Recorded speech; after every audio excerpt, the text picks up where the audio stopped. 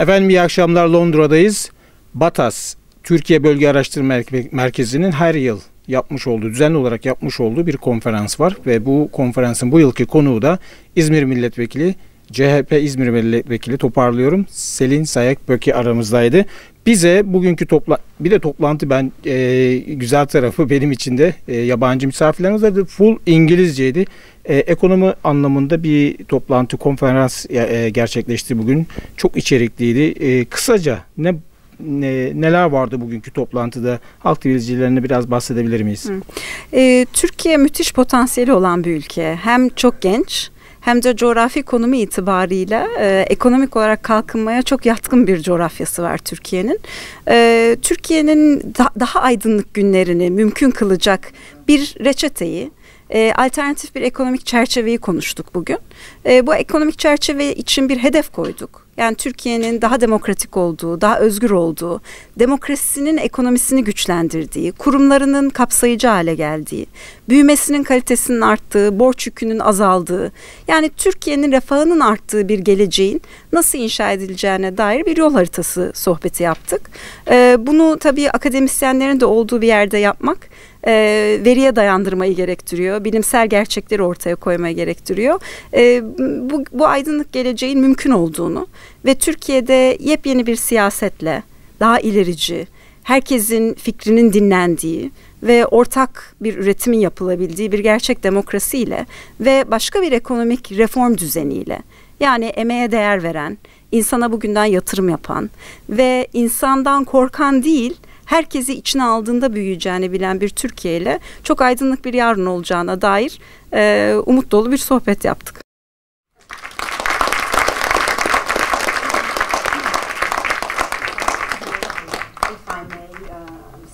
First of uh, a great honor to be here. Uh, thank you so much. And the honor is that um, it's great to actually live up or be a part of a tradition uh, that commemorates uh, people who have added during their life to what they do and who have left a legacy. So it's an honor to speak uh, at this lecture, and I'm very happy to be here.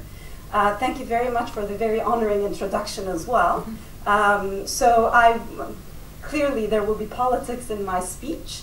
Um, but the politics will be identityless. The only identity uh, that's going to be in this speech is going to be the Turkish identity, uh, which is indeed uh, one that we care to build up further and to grow further. The reason I say so is uh, so I have an academic background, uh, but one that actually cared for economics deeply because of what economics is, right? It touches upon everything in life. Um, and uh, indeed, economics without politics or politics without economics makes no sense. Uh, hence the title, actually, of this, um, of this meeting. Um, it includes a lot of politics in it, but you're going to see me talk a lot of economics in the uh, during the 40, 45 minutes that I have. Um, and what's more important is the talk will be actually one uh, that probably has several emotions in it. Uh, but I think if you're going to leave this room with one message and one emotion, I hope it uh, to be a positive one that's built on hope. Uh, that's why, again, in the title, um, I put the phrase building up, because the future is what we should look into, rather than trying to make a sense of the past and trying to figure out who's to blame. I think we should take the current state of, of the situation as given and try to see what we can do to build up a better and a progressive future for Turkey. So whatever I speak of about the past will not to be uh, to, as an exercise to figure out who to blame of why these things have happened. Rather, that it will be to put the picture in front of us, take a snapshot of where we stand, in order to figure out the roadmap for future. Uh, this is why I hope the message and the sentiment you take out of this meeting is one that's positive because it looks to the future, uh, rather than one that's negative uh, given the current state of affairs of what we're experiencing in Turkey, which has a huge global part in it as well. Um, you know, the sentiment is not limited to Turkey's geography these days, unfortunately. Um, so, before I proceed, indeed, the title itself um, is an if and only if statement, if you wish. if we're going to build uh, a progressive future for Turkey, which should be the clear objective we put on table, uh, this has to be one that relies on a democratic political structure being built in Turkey, and one that relies on reforming the economic policy making, both its framework and the policies that come into that framework. Um, so these are not alternatives to each other. A progressive future requires that we build democracy and only democracy would not suffice to take Turkey to that progressive future. It has to be complemented with a strong economic reform, which actually is, if you ask, one where we democratize the economy as well in the process, instead of leaving it in the hands of uh, a couple of people, if you wish. Um, so the statement here is really an if and only if statement. Um, so what does it look like? Where, where should we put our eye on uh, for the future? What's the objective? Um, and here, you know, the future, the Turkey's progressive future, what I think it does look like is one that rises on several principles, right? A participatory democracy, one that includes everybody, and not only at the ballot box, but creates active citizenship, where people are actually part of a civil society that's very much integrated into uh, a true democracy, and where people have a say in decision making, not only at the ballot box, but throughout any decision that's made um, within the system. Um, it's not only participatory, but the progressive future Turkey actually has a constitutional democracy. One where democratic rights, civil rights, fundamental human rights are actually protected through a constitution, and where rule of law uh, actually prevails through that constitution that is not taken for granted, but is indeed a true social contract that's drafted by the larger society. Uh, the progressive future is one that is an inclusive society. The heterogeneity of uh, different identities actually being in Turkey, um, it should be viewed of one that creates a future that's progressive in itself because of that heterogeneity, rather than one that allows polarization and exclusivity. So, taking into account the heterogeneity of the society, but not exploiting that heterogeneity to grab power, but one that distributes the power equally across every group um, and every class within the society, where people feel included naturally as a right. Uh, the future progressive Turkey actually is one that's egalitarian one that does not just include you based on equal opportunity, but also provides equal outcomes in the market, where the equal opportunity actually results in equal outcome, uh, given um, the effort that you put into it. Uh, and finally, it's one that actually uh, cares not just for growth in the immediate short run, but one that cares for sustainable development. And this, I think, is extremely critical because the sustainability aspect includes several sub-disciplines in it. Clearly one of it is environment, right? It's a future that cares to leave the green to the future generations. Uh, but it's not limited with leaving the green to the future generations, but also leaving intact uh, a republic that relies on these principles and institutions that actually make these principles uh, an outcome in the country. So for a sustainable development, we should not just care of protecting the environment, but also for protecting the institutions that are going to guarantee that these uh, principles are actually outcomes that we experience in Turkey. So I'm going to go back to sustainability and what I think of this uh, in detail in the next uh, uh half an hour or so. Now, the, if we set these principles, if we know what the progressive future Turkey looks like, uh, then clearly we have to think of what the instruments we're going to use to ensure these principles become the truth of life at the end of the day. Because they're not going to happen in a God given fashion.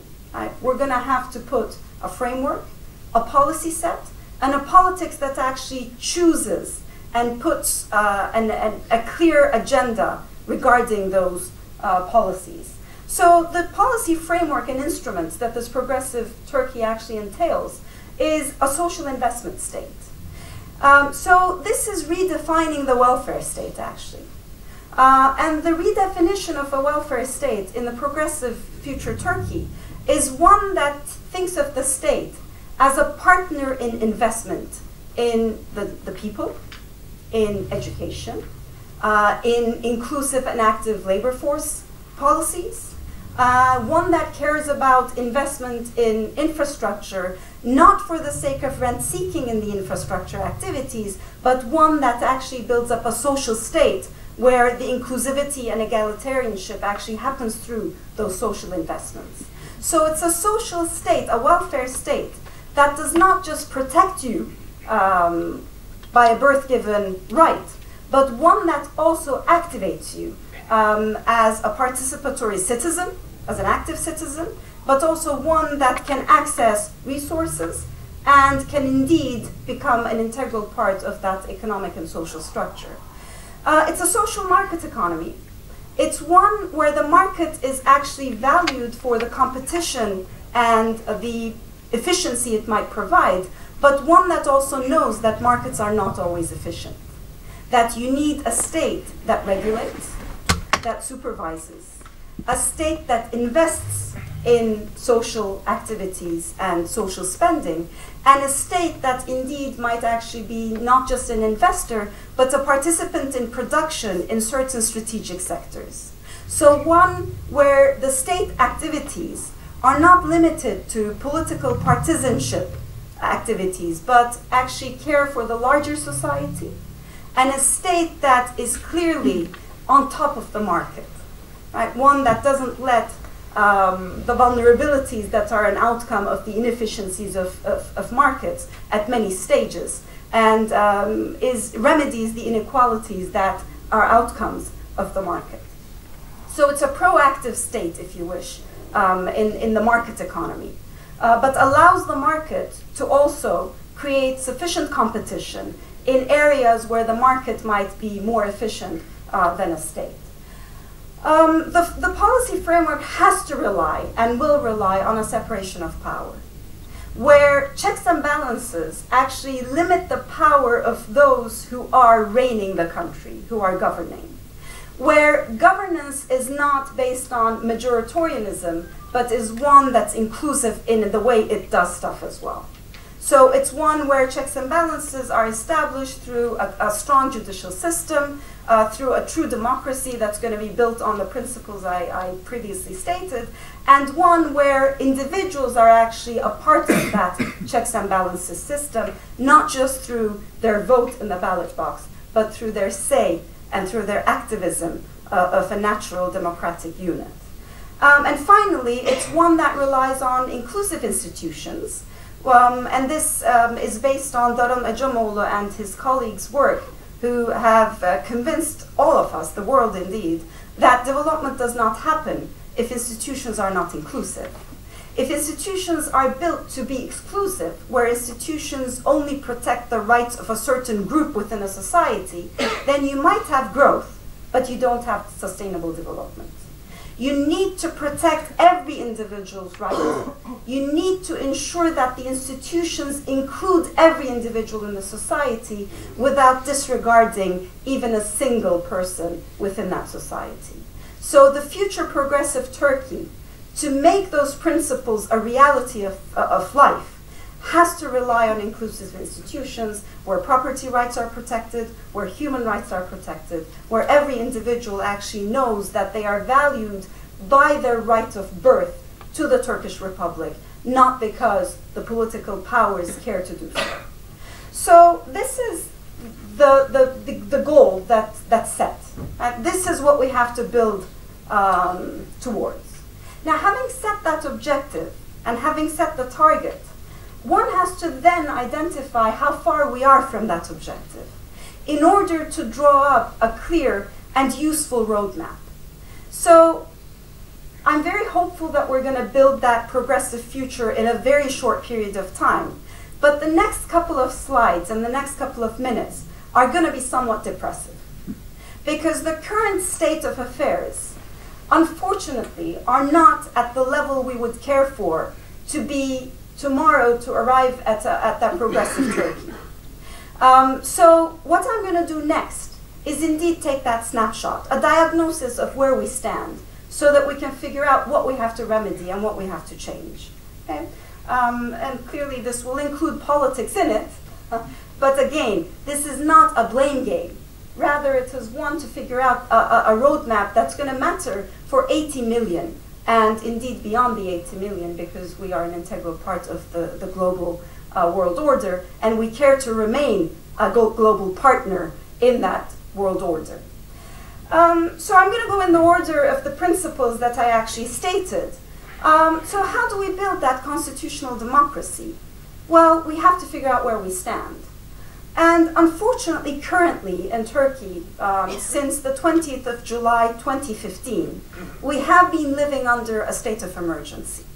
So it's an extended state of emergency period where no longer do we have lawmaking, we have decrees.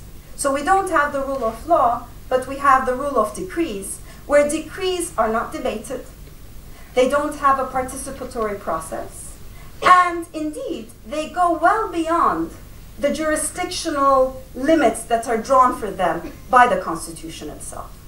So the constitution in Turkey actually states once a state of emergency is declared, this does give the right to the authorities to run certain issues by decrees. But those issues are those that are only related to the state of emergency. And the state of emergency was declared on account of this terrible coup attempt that we experienced in Turkey on July 15. So the Constitution clearly states that any state of emergency decree should be about that coup attempt that was averted through democratic forces actually in Turkey and should be to remedy, quickly remedy, this abnormality in the country so that we could normalize as fast as we can. But unfortunately, this extended state of emergency was actually uh, legalized through the Constitutional Court's decision, where they said, we're not going to look into these state of emergency decrees that are brought through because we think whatever comes in it is okay. And let me tell you, whatever came, com, comes into it is not limited to the state of emergency. You have um, academics being expelled from universities on account of declarations they signed because they have the freedom and the rights to think and the freedom of ideas, opinion, and speech. This has nothing to do with the state of emergency or the averted coup attempt. You have imprisoned journalists on account of news pieces they have drafted has nothing to do with the state of emergency or the averted coup attempt. And it's not limited to such grave uh, events, but the state of emergency decrees also include mandatory changing of winter tires. Now, this has nothing to do with the averted coup attempt.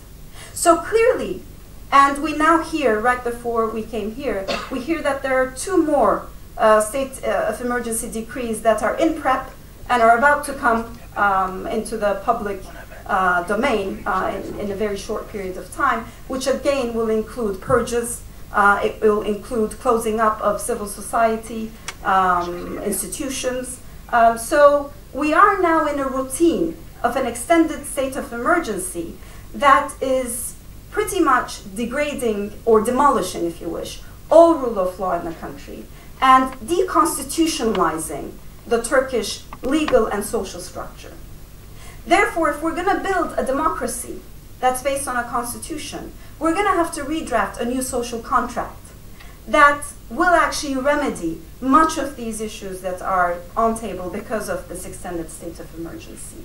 Now, the legislative branch, as I said, has been weakened terribly um, against the executive powers. And we see it in this decision about the state of emergency decrees.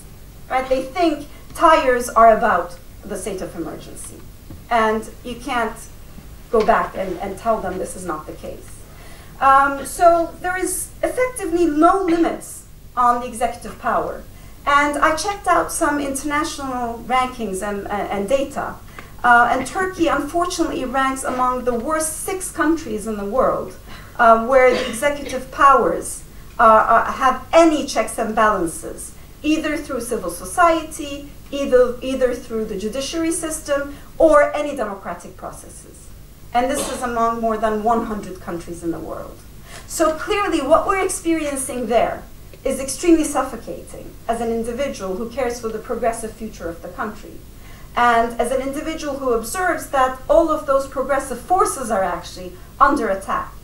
The attack is not limited with civil society. There are parliamentarians who have been jailed from two of the opposition parties. Um, and indeed, we also have a clear attack on those who have been elected through municipality elections. Right? So the constitutional democracy state in Turkey uh, clearly puts a picture that requires a lot of reforms in, ter in terms of the democratic politics. And I'm going to come back to what we can do here. And despite the fact of the graveness of the situation, indeed the solution can come very fast. All it necessitates it, is that we change that first item, right? Let's first get rid of the state of emergency. That will be a huge breather and a step in the right direction and a huge step in the right direction for that progressive future uh, Turkey that we have. So it's not a difficult task. Um, yes, it's a grave situation, but indeed we know the roadmap that's going to take us to that constitutional democracy. Um, so again, declining civil rights and individual rights that have been restrained, I gave you several examples, but if you look at Freedom House's indicators, uh, you observe this numerically as well, so the data speaks out for itself.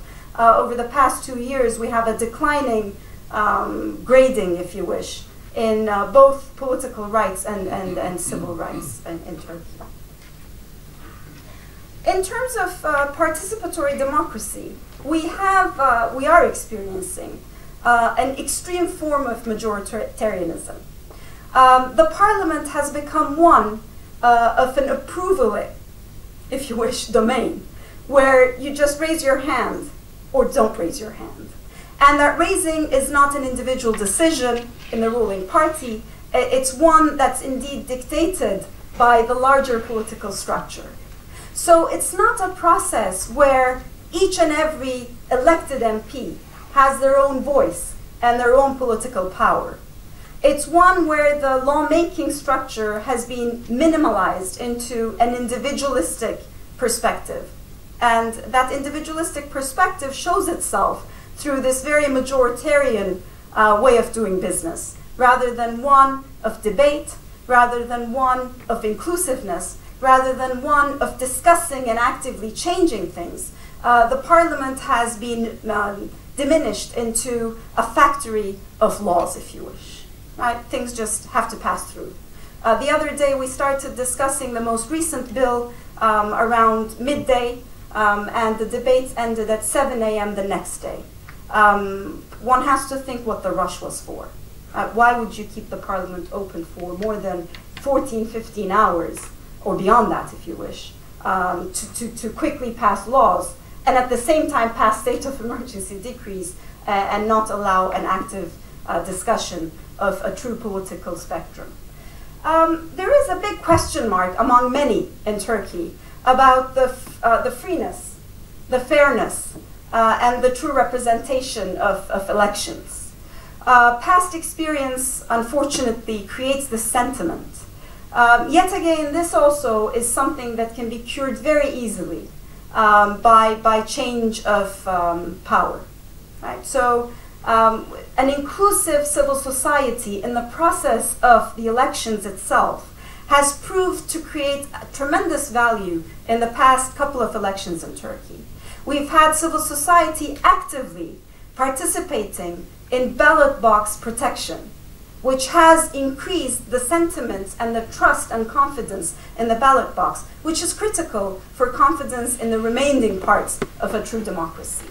But unfortunately, the referendum that was overtaken not at the ballot box, but through uh, the governing institutions, has created this negative sentiment. So all we have to do is ensure that the ballot box is left to the public, where the governing institutions do not become the deciding factor, rather the people's vote and the ballot box itself is able to speak for itself. Right? And these are not difficult to do. However, the situation itself is grave. Now, the data unfortunately speaks out in terms of where we stand. Uh, so uh, one might say, well, the, the world seems to be collapsing. Right? The, the global order has its issues as well. Many of these things that I speak of now are things we hear from colleagues in different countries, uh, friends who are residing throughout the world in different continents. So the sentiment has, seems to have a lot of commonality in it. But unfortunately, it does look like things are a bit more difficult today in Turkey than in other parts of the world. Now, voice and accountability, whether or not you as an individual have a voice within the system, uh, we are worse than 144 countries around the globe. When it comes to rule of law, uh, we are worse than 108 countries throughout the world. And this is an economy that's, by size, among the top 20 in the world. Right? So when it comes to economic power as a world power, we actually have that in terms of our economic size. I'm going to come to that issue in a second. But when it comes to the basics that we care for in terms of a development and a progressive future, we seem to have a long way to go. Uh, government effectiveness. This is allowing institutions to operate through uh, uh, uh an independent decision making, if you wish, one that's not purely in the powers of, uh, of the executive branch, Turkey ranks worse than 95 countries. This is from the World Bank's governance indicators. Um, and the, the next slide actually includes data that's um, on a, a, World Audit web, web page, which collects data from different indicators um, that, uh, that exist. Uh, again, when it comes to democracy, uh, we are ranked as a hybrid democracy these days. and we have a, a, decreasing ranking unfortunately, uh, in the hybrid democracy classification as well. And we are worse than 108 countries when it comes to democracy. Uh, press freedom, uh, the number of journalists we have had to visit in prison, many of them old friends, um, has been increasing by the day. Um, and these people are, are, not even allowed to see each other within prison. Um, so the state of emergency actually limits pretty much all life options uh, for many people. For example, for academics, uh, their passports have been confiscated. These are people who have the human capital to carry with them throughout the world geography, but are not allowed to leave the country and are not allowed to work anywhere within the country. Now, this is to say, actually, the state of emergency is telling them, we would like you to die because we're not going to give you uh, um, a life option uh, through uh, a job security or a job that actually allows you to, to have sufficient income for your basic necessities. Um, corruption is, is high. Um, inclusive uh, society. So that, that's, uh, that's the state of uh, constitutional and participatory democracy. Uh, when it comes to inclusive society, uh, the, the dire picture continues there. Uh, we have um, a lot of gender inequality and violation of women's rights. Now, in a country where I just depicted a lot of human right violations, uh, this can be maybe thought of as a natural extension of that, right? Women uh, rights being a part of that uh, human rights. Uh, but there is an additional issue here um, where the political language that's being used trickles down to the society and has created increased physical violence against women in the country. Um, we rank 130th, 130, 130, among 144 countries in uh, female uh, gender equality, if you wish. Now that's 130. When, it, uh, when it's political equality of genders, uh, we rank 118th. Uh, woman representation has been falling over the past two uh, ballot boxes. Uh, when you look at the ministerial positions, it speaks a lot about the political perspective. Women are usually appointed to the Ministry of Family and Social Policy. Um, so the duties that are viewed as, or, or the rights that are viewed for women, are predefined by the woman's role in family. So a social structure that does not come from the society but is imposed through politics is trickling down into this gender inequality. Now, the hope there is that since it's not coming from the society's nature, but is one that's imposed through the political structure, a change in politics and policy would indeed quickly and very fast remedy the gender inequality experienced in Turkey. Um, so, so there is hope there, uh, but we have a lot to do there as well. And I'm going to come back to this about the economy as well, because when it comes to economic gender equality, uh, that's where the worst performance is. Uh, indeed, the female labor force participation in Turkey is very low in OECD standards. And I'm going to show you a graph that suggests even if women decide to actively participate in the labor market, they are faced with a huge unemployment that's much higher uh, than the rate uh, men face when they decide to become active in the labor market. Minority groups are heavily excluded from the bureaucracy. Um, this, um, again, uh, no blame game. If you look back to the to the longer history of Turkey, uh, you'll probably see the same statement repeat itself uh, in different contexts. Uh, but today we are experiencing it in a very um, disruptive manner, if you wish, um, and therefore ne necessitates one where inclusivity starts from the government institution structures, uh, where the people who are actually a part of those government institutions uh, are an inclusive representation of the larger society. Currently, that's not the case. We have a very polarizing political language in Turkey. Uh, again, this is not limited to Turkey, I know that. Um, however, uh, there is a statistic that I find, um, unfortunately, very um, um bothering, but at the same time, very much telling the fact. Uh, this was a survey that was done a couple months ago, uh, maybe over a year, uh, that shows three quarters of the society do not want to be neighbors with, do not want to do business with, do not want to have their kids have a play date with families or people who have voted for different political parties. Now, this is to suggest the heterogeneity through identity, which is a natural outcome by birth or by choice, is now added a new layer through political preferences. Right? Those identity differences, if you wish, are being utilized as an instrument through this political language to differentiate across uh, these identities and polarize the larger public with politics through their identities. Again, this is not maybe novel to Turkey, but the extent of how much it has infiltrated into the society has a novelty in it, unfortunately. Um, therefore, again, this comes back to when the curing, if, when I'm going to draw the roadmap to how we can cure this, maybe the comforting part to this is that this polarization is coming through the political language. So if we're able to change that political language, we will be able to take a very huge step towards the right direction for that progressive future. And changing political language is probably the easiest among uh, many of the items I'm going to put on table. Um, so, so, this has resulted in pervasive partisanship. Right? That political language that's polarizing uh, is also polarizing through the, the, the business doings as well.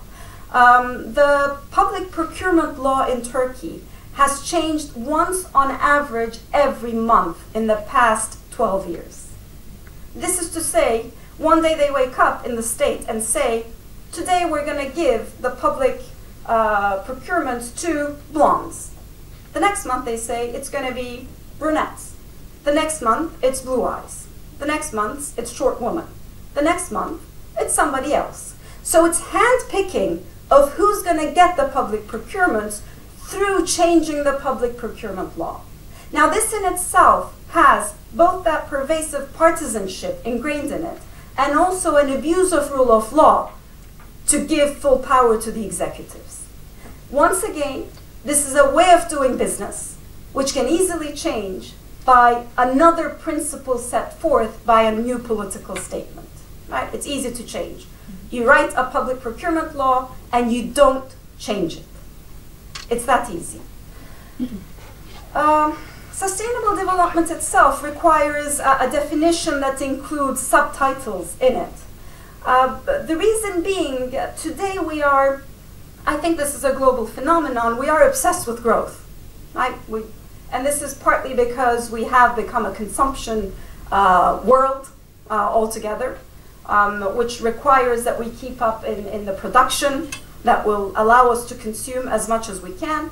But countries like Turkey that don't have oil, so we're not Venezuela, we're not Russia, we don't have the natural resources that's going to allow us to do rent extraction uh, without much production. To do all of these, we actually need to produce.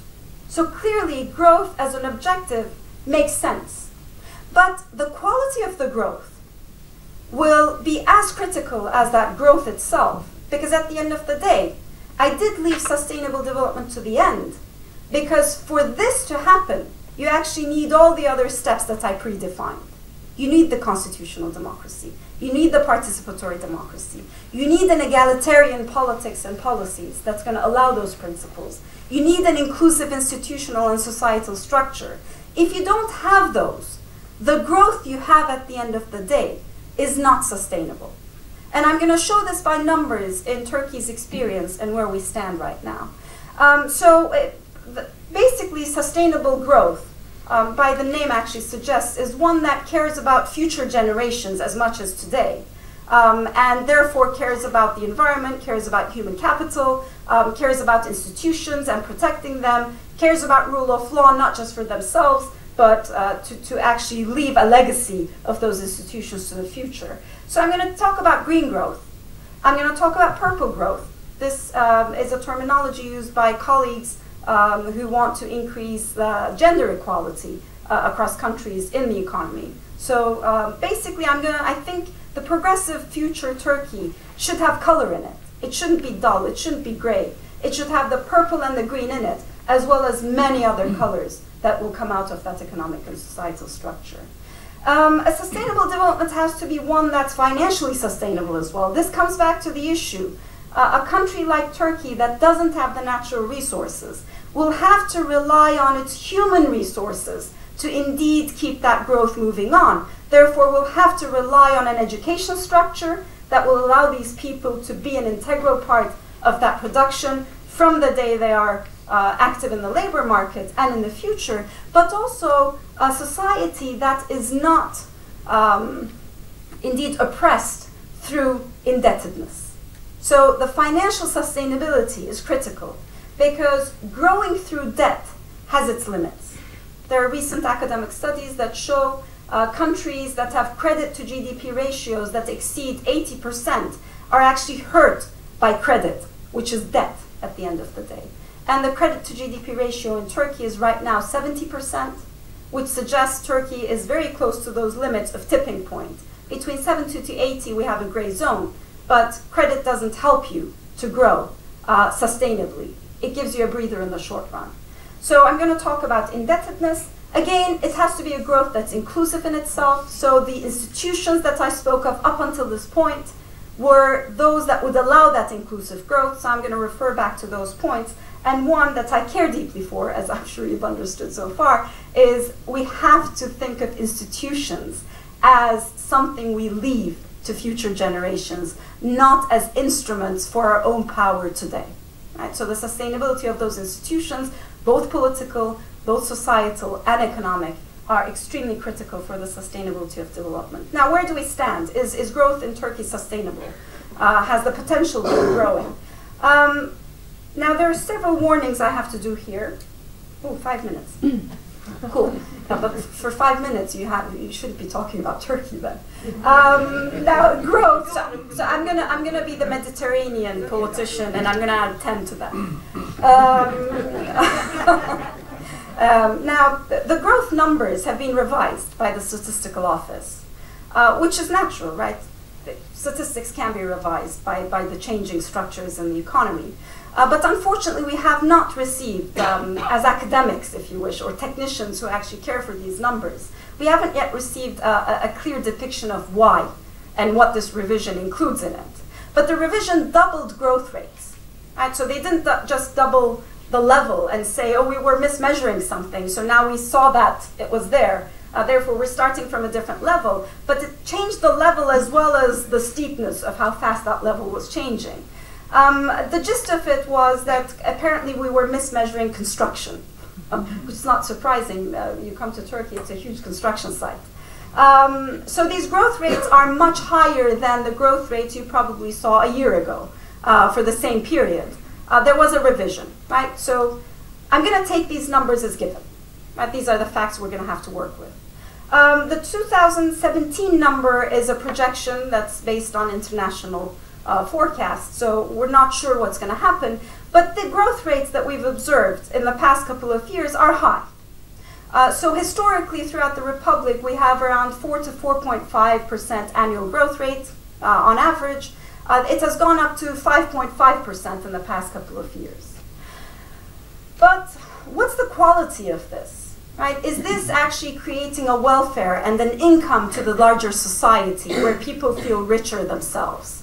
Uh, if you look at um, the past couple of years, and I took 2007 uh, for a reason, because up until 2007, you actually had a reform agenda in Turkey. We can dispute parts of it, you know, we can discuss whether or not it was the right policy agenda or not, but 2007 is when Turkey actually stopped having any reform agenda. Right? It became uh, a, a feeling the elephant economy, if you wish. We don't know what's going on. Whoever comes first gets a subsidy, and we'll move on. Uh, so it was an extreme laissez-faire uh, system that was established in 2007. Uh, and you can see this in, in the numbers, right? We haven't been generating income. Uh, so while the economy seems to be growing at a fast pace that matches China and India, um, uh, the, the, the income levels for people have not been increasing. And indeed, what's worrying in the growth numbers is if you look at the composition, the red line is investment in machinery and equipment. So that's your future potential. Right? You're going to build those factories, people are going to be employed in them. They're going to have to use the machinery and equipment, especially uh, at a time when we're facing Industry 4.0 as a threat uh, of destructing, creative destruction processes actually speeding up. Um, but we're not investing in machinery and equipment. Over the past four quarters, it, machinery and equipment investment has been declining. It has been overtaken by construction investments. Right? So the quality of growth is actually not promising for that sustainable development. The state of labor, very high unemployment. Historically, it's high as well. It's at 10.9% right now. Uh, but not just historically, internationally, it's also very high. Uh, so even though we're growing, it's not just a jobless growth, but it's an unemployment creating growth. So it's, it's, it, clearly there are problems in the structure of production, and we, it requires a huge economic reform agenda. Uh, and um, the, the, comparative countries are those that um, Turkey is usually compared economically to. These are the emerging markets. Uh, the youth unemployment is higher than unemployment, just like everywhere else, and, and Turkey unfortunately fares poorly there as well. Uh, no woman, you can fill the rest, right? It can be no cry if you wish, but um, it's not a young economy. Right? It leaves its young unemployed as well, but it also leaves uh, women unemployed as well. Uh, now, the increase in labor force participation rate um, is something that's positive when you take it uh, at face value. Uh, however, that increase happened through a law that is paying women for social care in their homes. So basically, it's limiting women's true participation to social and economic platforms.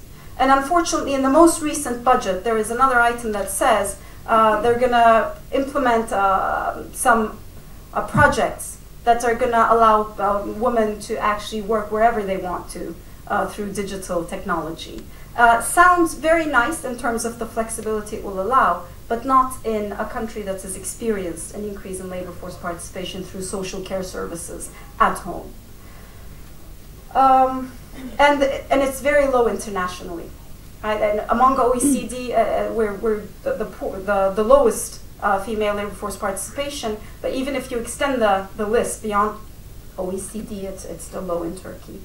Uh, the state of labor, uh, the, the, you have a very flexible labor market uh, at the expense of, of, lack of security, if you wish, or not at the expense, but at the cost of lack of security.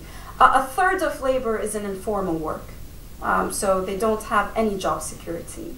Uh, occupational safety and health hazards are very high in Turkey. Um, we rank 147th among 180 countries in terms of labor freedom. And indeed, the state of emergency that was declared, um, our president stated that the state of emergency was to intervene to businesses where there is a threat of strike. So clearly, the state of emergency is framed as being against labor.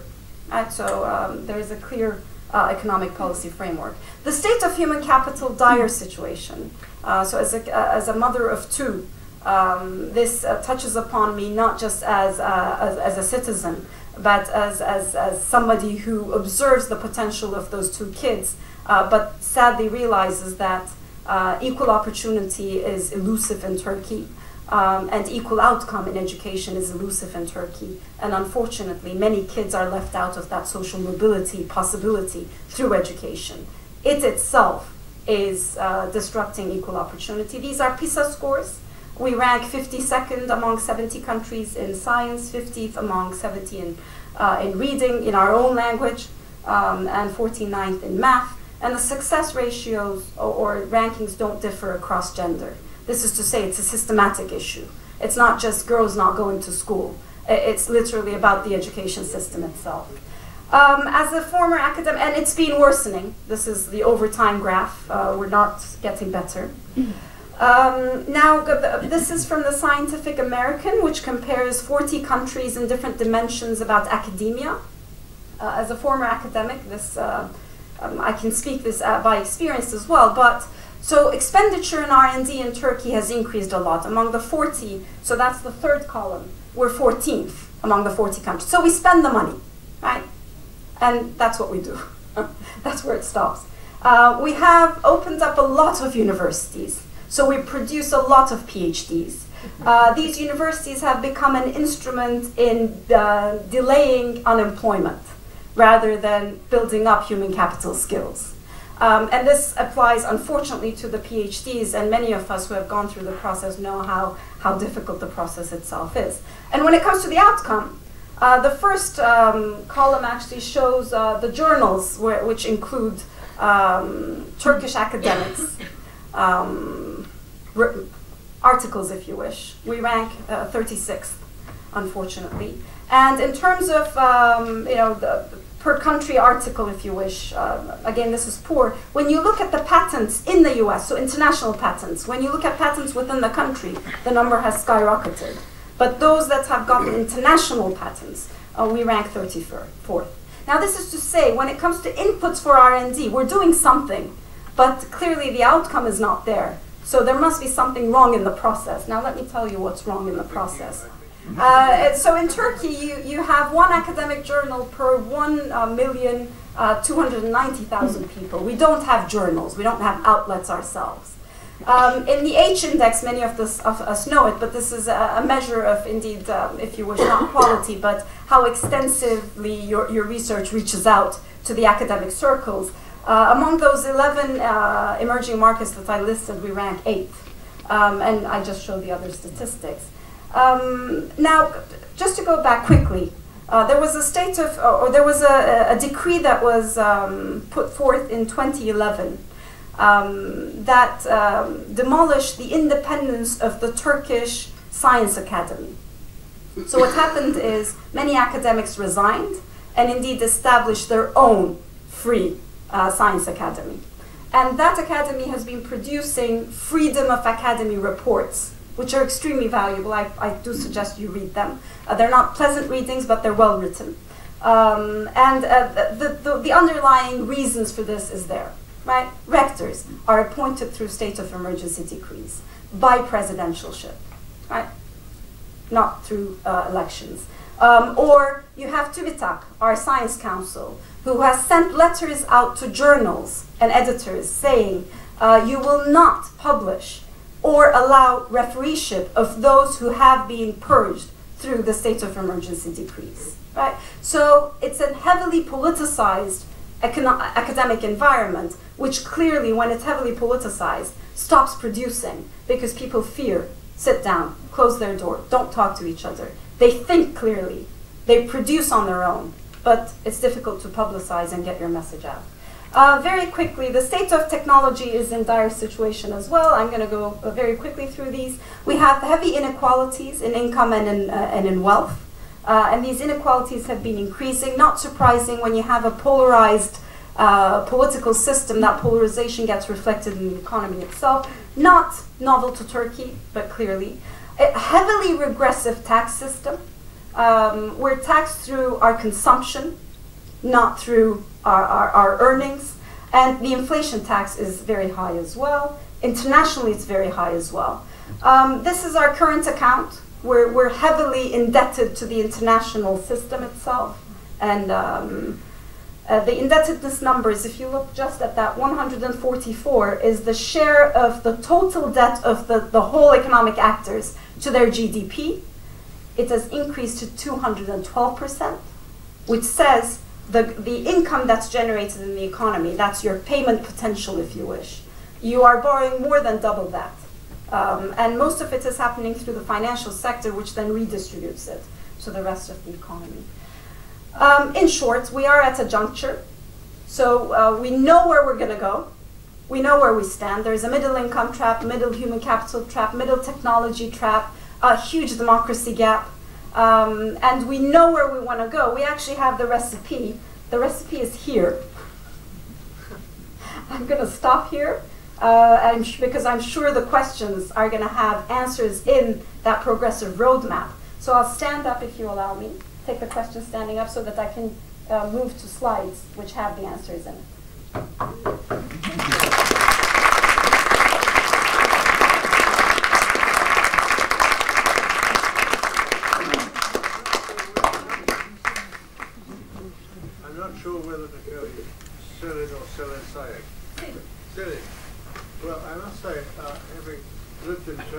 Seven, having lived in Turkey for seven years myself, and being an assiduous reader of what is going on in Turkey, uh, including uh, blogs, I'm still bowled over by your uh, analysis of what is happening in Turkey. And I'm astonished at your candor in, uh, in your detailed explanations. Can I say, as a former EU ambassador, who was very much involved in bringing Turkey into EU customs union, that it's quite clear now that Turkey would not qualify to become a member of the European Union. It is an official candidate, but under the, the basic criteria, it would not qualify. Now, uh, I don't want to go and give you my views any further, but I think it would be very interesting to hear uh, what Selin has to say to any of your questions. Who would like to be first, please? Um, I would like you to mention uh, our hunger striking two academicians, which we've been, um, you know, uh, talking about for a year now. And uh, in the street, uh, they have been, you know, cast um, Erdogan's police uh, is very violent about it every day, even this today. And I, I call people who don't talk about it heartless people of Turkey. well, there are many who have the hearts, so. Uh, I know. That's the hope. I know. I'm just talking about the one that who doesn't uh, talk about it. Mm -hmm. could you please uh, talk about them a little bit? Um, so we have uh, two, um, one academic, one teacher, um, who uh, was purged with a state of emergency decree, um, and who have been requesting their jobs back um, as a very basic right, right? Um, the right to work, uh, the right of labor. and unfortunately, they decided to take it to a hunger strike. Um, it has been over 250 days, I think. A year, now. Um, and one of them um, is now out of prison, um, and one is still imprisoned. Uh, we have requested, uh, you know, there is a state of emergency commission that was uh, established to go through these more than 100,000 purge cases to figure out which one was actually um, related to, to the state of emergency, uh, the, the attempted coup, um, and which one was, was wrong. Uh, that's, uh, so we've been living under the state of emergency for uh, a year and a half now. I can't, uh, I think more than a year and a half. Uh, the commission has not yet started going through the cases. Um, and the request that has been put forth for these two um, education lists, if you wish, has been that the State of Emergency Commission takes up their case uh, first um, and decides on whether or not uh, clearly the, the, they should have been purged or not.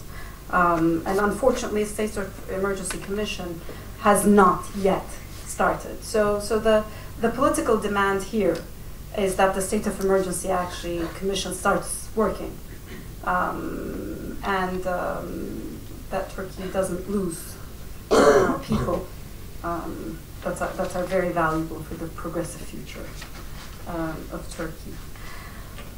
So that's the case. Anybody else? Sir.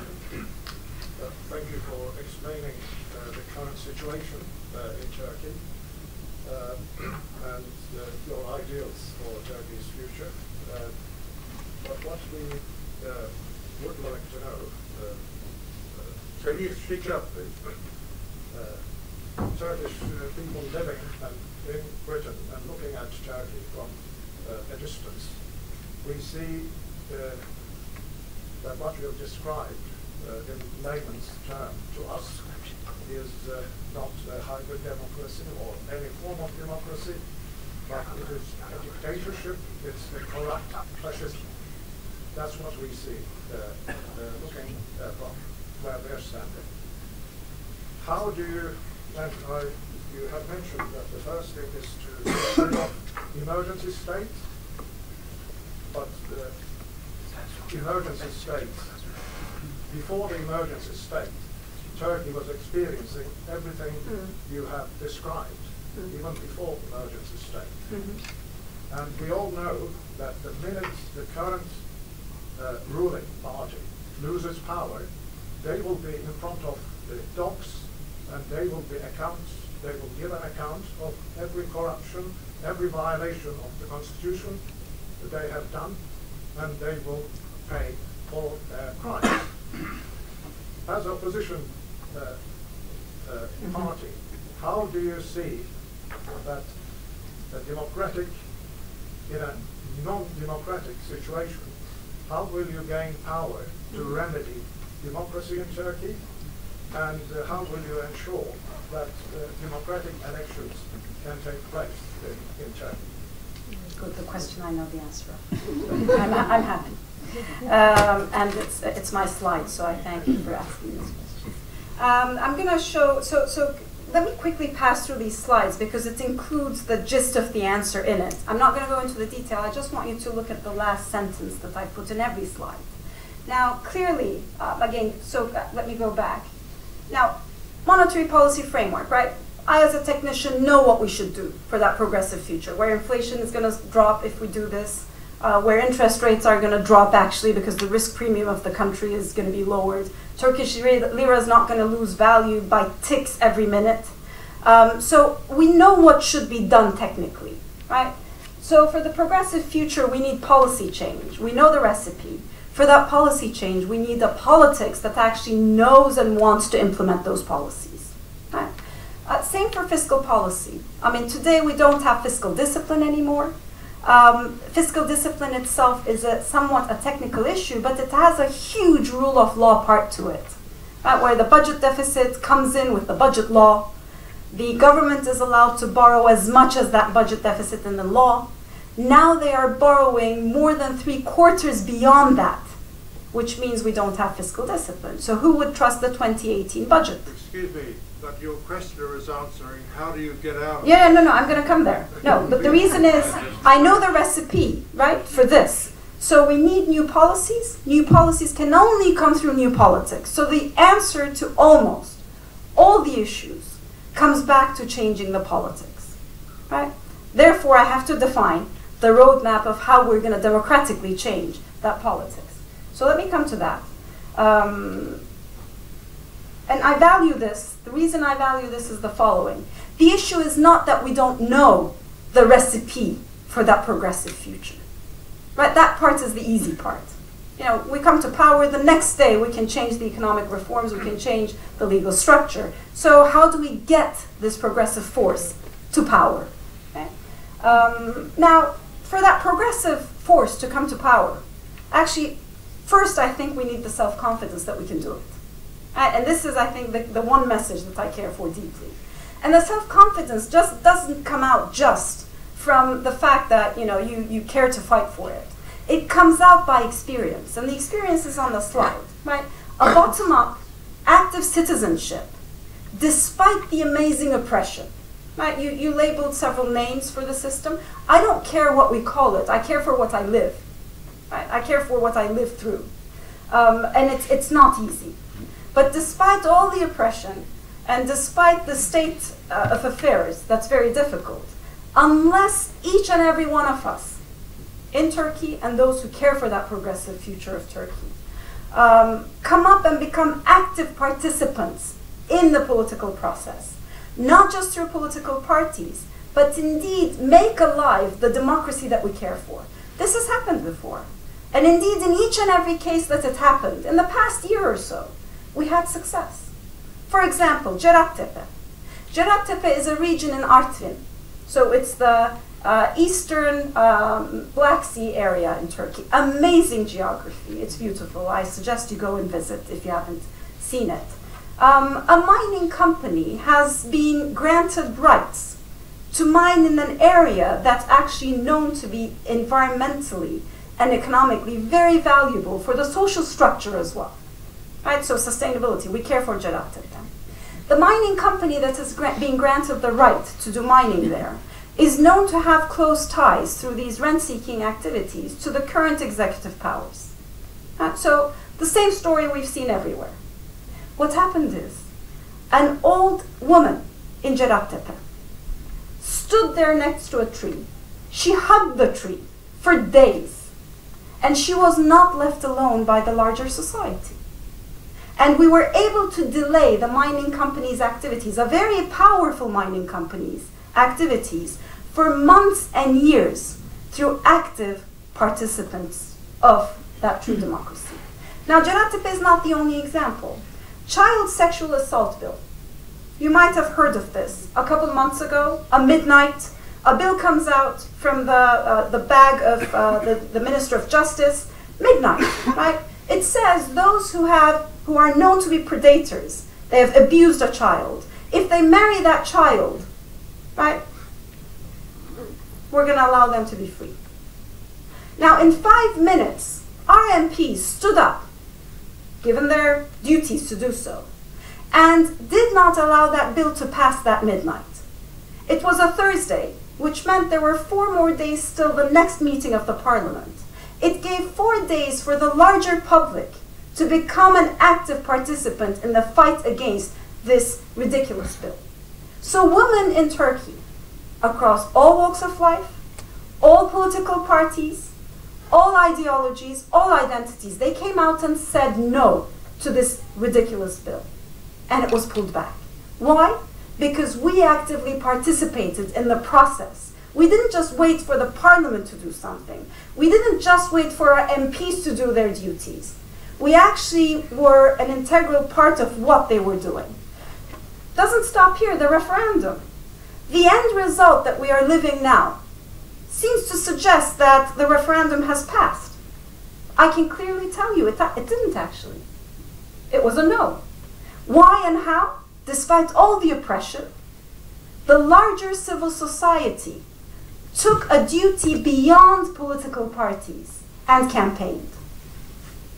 Right? These people have been imprisoned, but they campaigned. And what happened is now we are experiencing an illegal outcome. That's what we're going to change in 2019 referendum. But we actually had success there. So we have to remind the larger public as political parties that actually no won. The no camp did win. How? Through civil society participation. Doesn't stop here the Justice March. After this illegal uh, result that happened in, in the April referendum. Our party took it to the streets. We walked from Ankara to Istanbul, 453 kilometers. Now, that Justice March was a huge success, not because we walked, but because each step that we took grew and made the noise larger than that step. Initially, it was only us. And then people were actually yelling out from their windows. They were chanting support. And the support was not political partisanship. The support was the call for justice. Now, this is critical because this shows the roadmap, actually, what we have to do, right? And I understand the feeling of hopelessness and despair, but unless we figure out that if we're not a part of it, that hopelessness is going to be continually imposed on us, hope can only happen if we stand up and become an active part of the process. Now, so what do we do? And I told this in, in the speech where I said we're going to have to redraft a new social contract. And I didn't say we're going to redraft a constitution because unfortunately in Turkey, there is a continual debate of the constitution. We never think of what that constitution actually stands for. It's a social contract. It's a contract that entails the principles that we're going to live together around. And I think we've taken amazing steps in the right direction here. One, the referendum. Turkey actually said we want to live with parliamentarian democracy. At the no camp won, and the no camp said we want a parliamentarian democracy. So what do we do? We hold on to this, and we make 2019 not an election year, but a referendum year, where the referendum is about reverting Turkey back to the parliamentarian democracy with knowing its deficiencies, knowing that we're going to have to cure many of the deficiencies that pre-existed. The second, uh, uh, one last sentence. The second one was the March for Justice um, showed us justice as a principle. Now we have to discuss what next. Right? What next? What, what, what other principles are we going to live around? I have a list, but I think instead of politicians imposing the list, the social contract should come, just like it did for parliamentarian democracy, for justice, through the society.